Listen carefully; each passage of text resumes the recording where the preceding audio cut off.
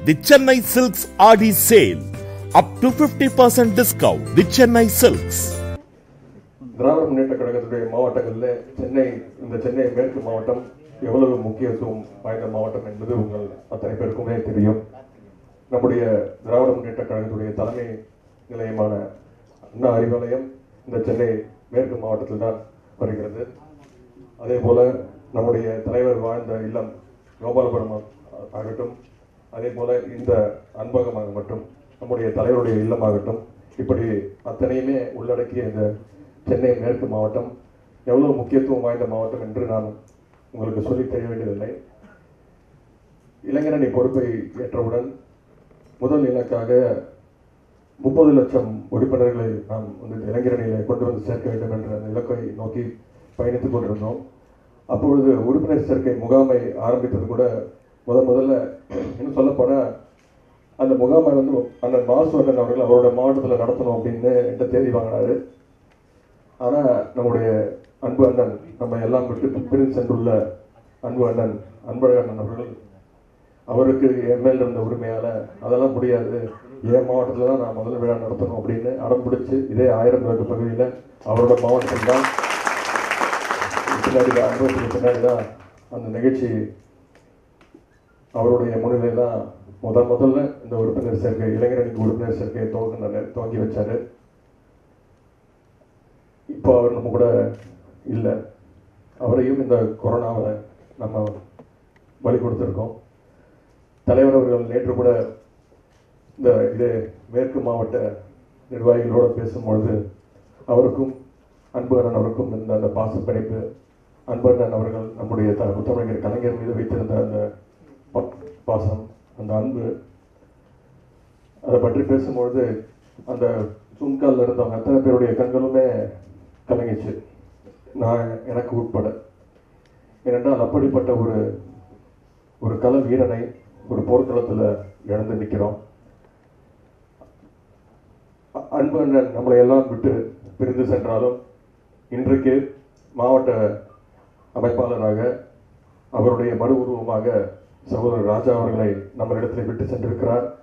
அவர் செய்து முடித்த அந்த அத்தனை பணிகளையும் அவர் எப்படி படிப்படியாக முன்னேறி ஒரு மாவட்ட செயலாளர் என்ற அந்த பொறுப்புக்கு வந்தாரோ அதேபோல் சகோதரர் ராஜா அவர்களும் அவர் தந்தையாரோட வழியில் நடந்து அதே அளவுக்கு உழைப்பை கொடுத்து இந்த கழகத்திற்கு உழைப்பை கொடுத்து ஒரு மிகப்பெரிய கழக வீரனாக கல வீரனாக கண்டிப்பாக செயல்படுவார்.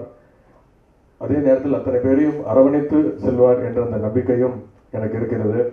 எனவே அவர் பொறுப்பேற்று அதேபோல் நம்முடைய தலைவர் அவர்கள் மாவட்ட அமைப்பாளராக இருந்த திரு சகோதரர் சிற்றரசு அவர்களை மாவட்ட பொறுப்பாளராக நியமித்திருக்கிறார். இந்த இரண்டு பேருக்குமே இது ஒரு மிகப்பெரிய ஒரு சேலஞ்ச் ஒரு சவால். அது அவங்களுக்கு சவாலோ இல்லையோ எனக்கும் சேர்த்து ஒரு பெரிய சவால். ஏனென்றால் இப்போ இளைஞரணியிலிருந்து ஒருத்தரை வந்து தலைமை கழகத்தை கொடுத்துருக்கோம். தலைவர் எடுத்துக்கிட்டார் நான் கொடுக்கல.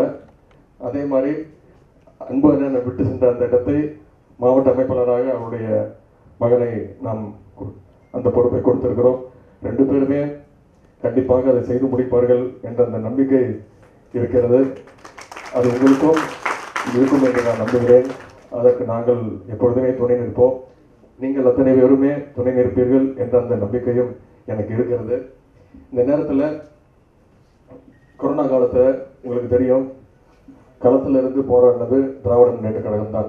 இளைஞரணி மூலமாக இந்த லாக்டவுன் முழு ஊரடங்கு அறிவித்த உடனே நான் வந்து அத்தனை அமைப்பாளர்களுடைய தொலைபேசி எண்களையும் கொடுத்து ஹெல்ப்லைன் நம்பர் கொடுத்து மக்களுக்கு தேவையான என்னெல்லாம் நம்மளால் செய்ய முடியுமோ அது உணவாக இருக்கட்டும் மருந்தாக இருக்கட்டும் எத்தனை விதமான உதவிகளும் நாம் செஞ்சு முடித்தோம் அதே போல் தலைவர் அவர்கள் ஒன்றிணைவம்பா திட்டத்தை வந்து அறிவித்து பல கோடி ரூபாய் செலவில் பல லட்சம் மக்கள் உதவி பெற அளவுக்கு நாம் செயல்களை செஞ்சு முடித்தோம் இந்த கொரோனா காலத்திலையும் நம்முடைய இளைஞரணியுடைய பணிகள் தொடர்ந்து நடந்துகிட்டு இருந்துச்சு. இந்த உறுப்பினர் அட்டை கொடுக்கறதையும் நாம் வந்து ஐந்து மாதங்களுக்கு முன்பே தொடங்கணும். இந்த கொரோனா காலத்தில் அது தொடர்ந்து அதை பண்ண முடியல. இப்பொழுது மீண்டும் ஆரம்பிச்சிருக்கோம் எனவே இந்த உறுப்பினர் அட்டையை கொண்டு போய் அந்தந்த உறுப்பினர்களோடு சேர்த்து அது மட்டும் இல்லாமல் உறுப்பினராக சேர்த்தோம். அவர்களையெல்லாம் வாக்காளர் அடையாள அட்டை இருக்குதான்னு பார்த்து அந்த வாக்காளர் பட்டியலையும் அவங்களுடைய பேர் இருக்கான்னு பார்த்து அதையும் செய்ய வேண்டியது நம்முடைய கடமை. அதை அத்தனையும் நீங்கள் பொறுப்புடன் செய்வீர்கள் என்ற இந்த நம்பிக்கை எனக்கு இருக்கிறது. அதே போல் இன்னொரு விஷயம் இப்போ இந்த தே- தேர்தல் காலம் இன்னொரு எட்டு மாத காலங்கள் தான் இருக்குது தமிழக மக்கள் வாக்காளர் பெருமக்கள் ரொம்ப தெளிவாக இருக்கிறார்கள். அமைய போகிறது திராவிட முன்னேற்ற கழக ஆட்சி தான் முதலமைச்சர் நாற்காலியில் நம்முடைய தலைவர் அவர்களை தான் உட்கார வைக்க போறாங்க. அந்த நம்பிக்கை மக்கள்கிட்டையும் இருக்குது எப்படி உங்ககிட்ட இருக்கோ அதே மாதிரி மக்கள்கிட்டையும் அந்த நம்பிக்கை இருக்குது அதை கெடுக்கிற விதமாக நம்மளுடைய எதிரிகள் நமக்கு வேண்டாதவர்கள் தினமும் ஒரு பொருளை ஏதாவது ஒன்று கலப்புறது தலைவரை பற்றியோ கலைஞரை பற்றியும் நம்முடைய கழகத்தை பற்றியும் ஏதாவது ஒரு அவதூறு கலப்பி விடுறது முக்கியமான ஒரு வேலையை செஞ்சுட்டு வராங்க. அதற்கு தகுந்த பதில் அடி கொடுக்க வேண்டியதும் இளைஞரணியுடைய பொறுப்பு. நேற்று தலைவர் அவர்கள் ஜூம் காலில் சொன்னாங்க. இந்த தேர்தல் ரொம்ப ரொம்ப முக்கியமான தேர்தல். நிறைய இணையத்தில் வந்து தவறான பிரச்சாரங்களை எடுத்து வைக்கிறாங்க. அதற்கு நாம் பதில் சொல்லணும். அதற்கு பதில் சொல்ல வேண்டிய அதே நேரத்தில் நம்முடைய திராவிட முன்னேற்ற கழகம் பண்ணிய சாதனைகள் கலைஞருடைய சாதனைகளை இன்றைய தலைமுறைக்கு கொண்டு போய் சேர்க்க வேண்டிய அந்த ஒரு சின்ன விஷயத்தை நம்ம செய்ய தவறிட்டோமோ அப்படிங்கிற ஒரு குறை இருக்குது அதை இளைஞரணி அணியை நம்ம அதை கையில் எடுத்து அந்த குறையை நிறையா மாற்றணும் அதற்கு ரொம்ப முக்கியமாக இணையத்தில் கொஞ்சம் ஆக்டிவாக இருக்க வேண்டியது நம்முடைய அவசியம். ஒன்றும் இல்லை வாட்ஸ்அப் குரூப் இப்போ அத்தனையுமே வாட்ஸ்அப்பில் தான் பரவுது.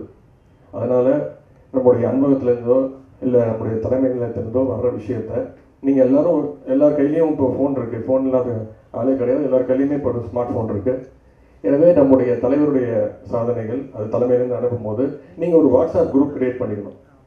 அந்த வாட்ஸ்அப் குரூப்பில் குறைந்தது ஒரு நூறுலேருந்து இப்போ இரநூத்தம்பது பேர் ஒரு ஒரு வாட்ஸ்அப் குரூப்பில் அதிகமாக அதிகப்படி இருக்கலாம். அந்த வாட்ஸ்அப் குரூப்பை க்ரியேட் பண்ணிவிட்டு அதில் வர்ற விஷயத்த நீங்கள் அந்த இன்னொரு வாட்ஸ்அப் குரூப்பில் நீங்கள் ஃபார்வர்ட் பண்ணணும். இது மக்கள்கிட்ட போய் கொண்டு போய் அதை சேரணும். அந்த விஷயத்தை நீங்கள் கண்டிப்பாக பண்ணுவீங்கங்கிற நம்பிக்கை எனக்கு இருக்குது தலைவர் அவர்கள் நமக்கு கொடுத்த இலக்கு இளைஞரணிக்கு கொடுத்த இலக்கு முதல்ல முப்பது லட்சம். நாங்கள் அதை செஞ்சு முடிச்சிடுறோம் அப்படின்னா அண்ணன் மாசோ அண்ணன் அவர்கள் தான் அதிகமாக ஒரு லட்சத்தி இருபத்தஞ்சாயிரம் வாக்கா உறுப்பினர்கள் சேர்த்தாங்க. உடனே தலைவர்கள் அதை மாற்றி முப்பது லட்சம் கிடையாது. உங்களுக்கு அறுபது லட்சம் இலக்கு அப்படின்னு சொன்னாங்க. அதுக்குள்ள இந்த கொரோனா வந்துருச்சு. நம்மளால் சரியாக சேர்க்க முடியல. இருந்தாலும் இப்போ நம்முடைய இந்த சென்னை மேற்கு மாவட்டம் கொடுத்துருக்கிறது வந்து வெறும் ஐம்பதாயிரம் தான். இலக்கு அடைஞ்சாச்சு. ஆனால் இருந்தாலும் அது பத்தாது.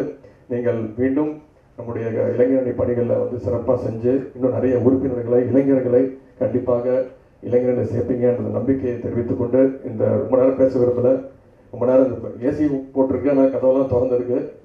இந்த கொரோனா காலத்தில் எல்லாரையும் ஒரு- ரூமில் ரொம்ப நேரம் அடைச்சி வைக்க விரும்பல.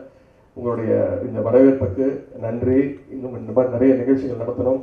சகோதரர் சிற்றரசு அவர்களுக்கும் சகோதரர் ராஜா அவர்களுக்கும் மீண்டும் என்னுடைய வாழ்த்தை தெரிவித்துக் கொண்டு வந்திருந்த அத்தனை பேருக்கும் என்னுடைய நன்றியை தெரிவித்துக் கொண்டு விடைபெறுகிறேன். நன்றி. வணக்கம்.